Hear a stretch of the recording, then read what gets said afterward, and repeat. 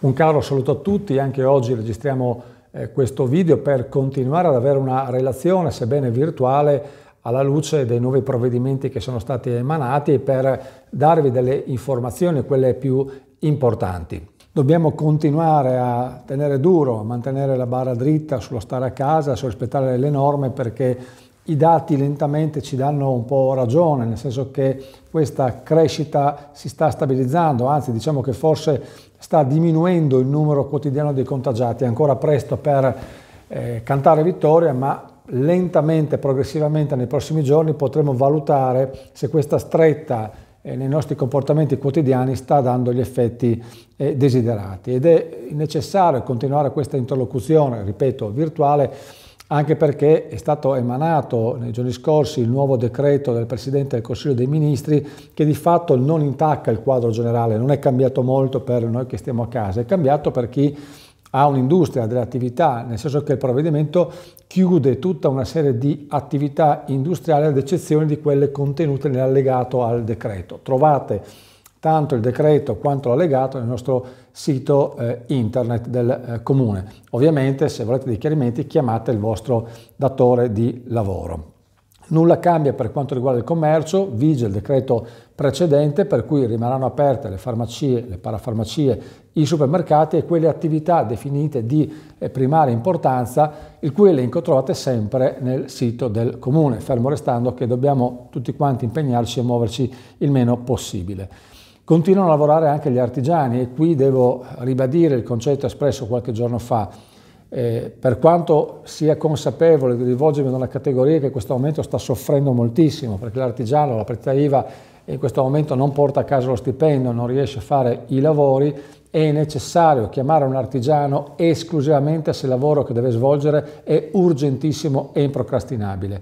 Dipingere casa non è un lavoro che si deve fare necessariamente adesso e si può rimandare quando questa emergenza sarà finita. Lo dico perché è pericolosissimo, è uno dei veicoli principi di trasmissione del virus, entrare in casa di qualcuno di cui non conosciamo le abitudini e le frequentazioni pregresse e conseguentemente non possiamo sapere se potenzialmente è portatore del virus significa mettere a repentaglio la nostra salute e quella ovviamente delle famiglie in cui entriamo. Conseguentemente massima prudenza e massima responsabilità nel chiamare un artigiano e sia anche l'artigiano a valutare ed eventualmente dire no dinanzi a richieste di lavoro che non sono necessarie, che non sono urgenti, che sono rinviabili.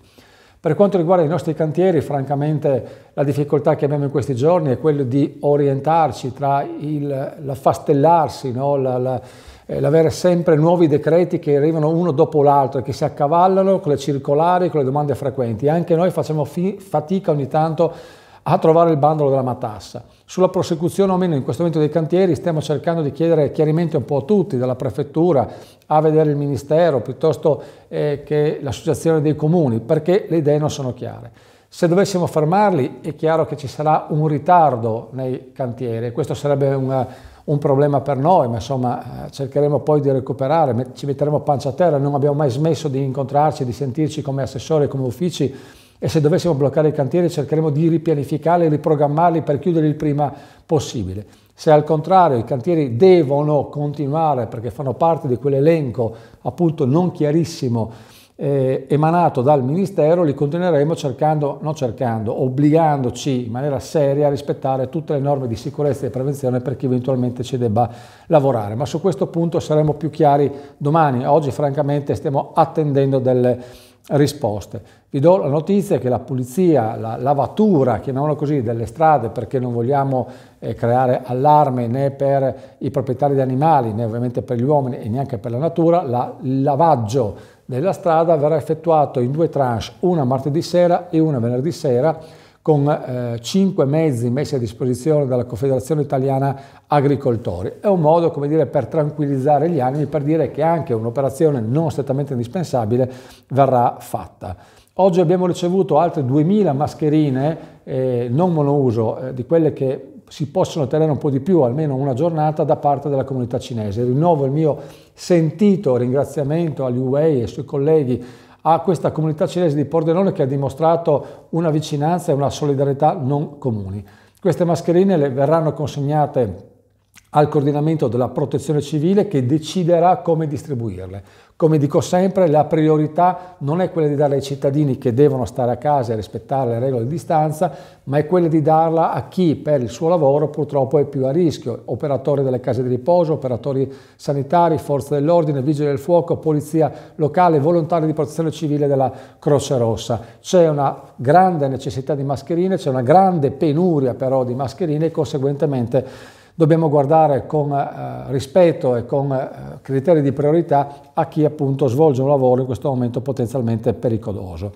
Voglio darvi un'altra comunicazione, ci sono pervenute delle segnalazioni da parte delle agenzie di assicurazione che devono tenere aperte in questo momento e che persone si rivolgono a loro perché hanno la polizza in scadenza. Attenzione che il provvedimento governativo ha allungato i termini di proroga delle polizze non più di 15 giorni ma di 30 giorni e si può pagare anche con bonifico. Conseguentemente Invece che prendere la macchina o uscire di casa per pagare l'assicurazione, telefonate all'agenzia e vedete se potete magari farlo comodamente da casa attraverso l'home banking. Si possono fare ancora le consegne a domicilio della spesa e di eh, cibo, di alimentari, e mi raccomando, eh, questo si può fare anche la domenica quando i supermercati sono chiusi, quando tutti i negozi sono chiusi, mi raccomando anche in questo caso di rispettare, di osservare scrupolosamente le norme di sicurezza, che devono essere rispettate e stare in capo tanto a coloro i quali girano portando la spesa o il cibo a casa, quanto da chi li riceve. È fondamentale, evitiamo i contatti impropri. Qualcuno mi ha chiesto, ed è una domanda intelligente, se l'obbligo di fare la spesa nel supermercato del proprio comune e non in un altro comune vale anche se il supermercato più vicino è quello di un comune limitrofo. Il Ministero ha mandato un chiarimento, si può fare la spesa in un supermercato di un comune vicino se questo ovviamente è, più vicino rispetto a, ad un altro. Faccio un esempio, se uno abita al confine del comune di Cordenons e ha un negozio a 50 metri mentre il supermercato di Pordenone è a un chilometro, può andare a Cordenons a fare la spesa. Mi raccomando di portare sempre l'autodichiarazione. E poi voglio chiedere un'altra cosa, tantissime richieste, domande sono arrivate al Comune per quanto riguarda l'attività all'aria aperta. Qui c'è stato un decreto del Ministro della Salute il quale consente di poter fare attività all'aria aperta nelle prospicienze di casa, ma questo non vale per noi perché in Friuli Venezia Giulia vale ordinanza emanata dal Presidente della Regione che è particolarmente stringente. E cosa dice? Dice che in tutte le proprietà pubbliche, quindi sulla pubblica strada, nei giardini pubblici, nelle aree verdi, nei parchi, dovunque, nei corsi, nelle strade, non si può fare alcun tipo di attività, né fisica, né ginnica, né passeggiare, né camminare. Bisogna stare a casa. Diverso è l'atteggiamento che possiamo tenere nelle proprietà private, ma attenzione, una cosa se uno ha la fortuna di avere una casa con il giardino, a quel punto può fare quello che ritiene più opportuno. Se invece siamo in un condominio e abbiamo un'area verde condominiale, la risposta data al quesito che è stato presentato dai comuni dalla regione è che si può utilizzare l'area verde condominiale ma purché ci sia una sola persona, quindi non ci siano altre persone. Sostanzialmente bisogna usare un po' la testa, ecco questo è il concetto. Si può portare il cane a fare una passeggiata, si può portare il cane a fare una passeggiata, anche qui è arrivata la risposta alle domande frequenti della regione, purché sia una passeggiata breve, funzionale esclusivamente a far fare i bisogni al cane, dotandosi ovviamente di guanti e sacchetto, e poi bisogna ritornare a casa. E questa passeggiata deve essere fatta nelle immediate vicinanze di casa, quindi non si carica il cane per portarlo a sgambare, ma si scende dal condominio o da casa, si esce, pochi minuti, si fanno i bisogni, si rientra a casa. Chi può invece fare una passeggiata? La può fare la persona che per motivi di salute, quindi gli sia stato prescritto di fare un'attività fisica finalizzata al recupero o quantomeno a contrastare una malattia. Oppure può valere per quelle persone che hanno deficit di carattere cognitivo per cui la costrizione obbligatoria in casa può peggiorare la loro condizione di salute.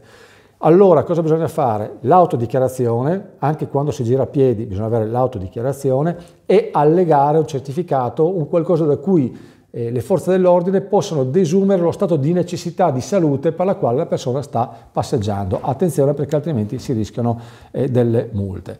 Anche noi stiamo valutando quali strumenti mettere in campo quando questa emergenza sarà finita. E stiamo valutando intanto eh, cosa dovremo fare alla luce di un bilancio che sarà stravolto, sicuramente le entrate saranno di meno, questo è stato un autentico terremoto anche economico e finanziario. E stiamo vedendo a quali risorse poter rinunciare per poterle accantonare a favore di imprese e famiglie. È chiaro che un comune, anzi i comuni che hanno dei bilanci davvero tirati all'osso, striminziti, eh, dove le disponibilità sono sempre meno, e dovremo far conto soprattutto sulla disponibilità dell'Europa, dello Stato e del governo regionale, ma anche noi vogliamo dimostrare di essere vicini ai nostri concittadini, vogliamo dare una risposta concreta, essere al fianco dei pordenonesi. E quindi valuteremo, anzi stiamo già valutando, facendo le proiezioni per capire quanto sarà e come si svilupperà questo pacchetto che dovrà andare incontro magari alle famiglie che hanno pagato le rete degli asili non comunali, quelli comunali non si sono già pagati, alle rete degli asili pur non potendo offrire del servizio, alle attività commerciali e alle imprese che hanno subito dei contraccolpi durissimi da questa emergenza. Ma ovviamente saremo più chiari nel, nell'immediato eh, futuro. Nel frattempo consiglio ancora, anzi eh, con forza, lo dico col cuore in mano, di rispettare le regole di, di prevenzione e di sicurezza. Teniamo duro, stiamo a casa, vedrete che ce la faremo. In bocca al lupo a tutti, un abbraccio virtuale alla distanza di un metro.